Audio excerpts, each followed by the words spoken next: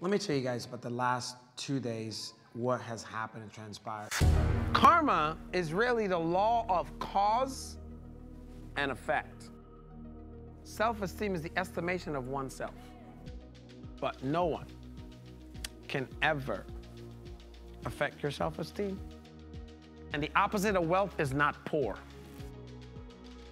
The opposite of wealth is undeveloped resources. If I had to describe this event in one word,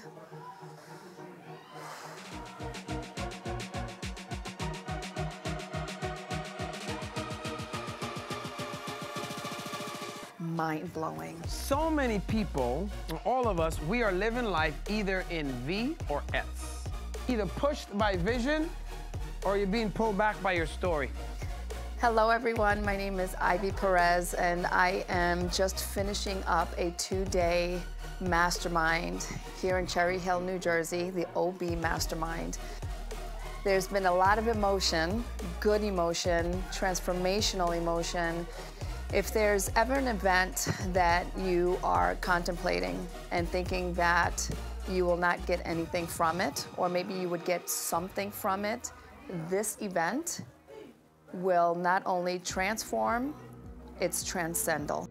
My name is Tweet, and I came to this event not expecting anything. Just like this is something that's supposed to be for myself, self-growth, so I'm all for that. So I was like, okay, I'll show up, no expectations, see where it goes. To my surprise, my God, like the energy is, it's amazing.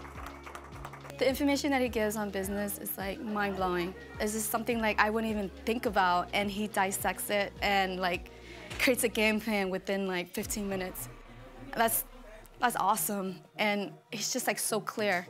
He's like, I see it, this is what it is, and like, and he makes you see it. And everyone sees it, and it's just like that light bulb moment. It just feels so real. Like, like they care and I just met them and it's like everything that I was programmed to believe like people can't care about you that fast.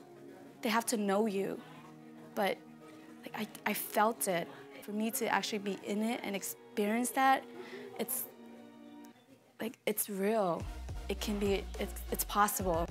My takeaway from this weekend is when you when you hear the voice telling you that you're in the right place and this is the right time, then whatever your circumstance is, whatever your conditions are in your current life, ignore it.